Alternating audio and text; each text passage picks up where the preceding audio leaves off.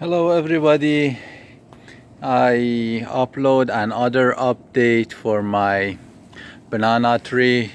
You can see is actually today is the first of the November 2019 so uh, last night the temperature fell down and then it get freeze.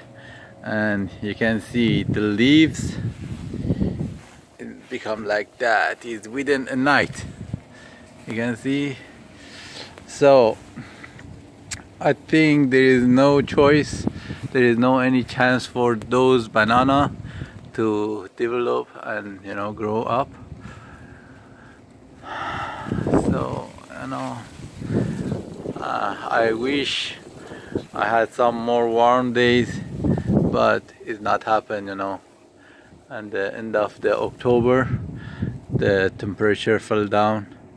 And you know the Texas weather is always like that.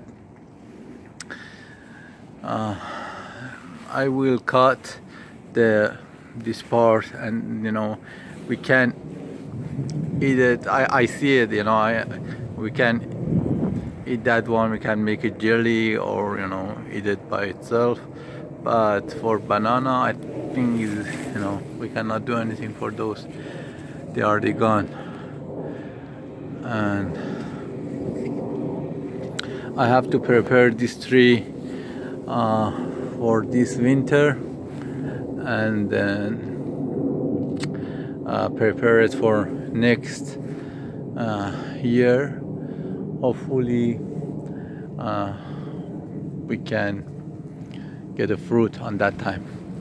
Also I see here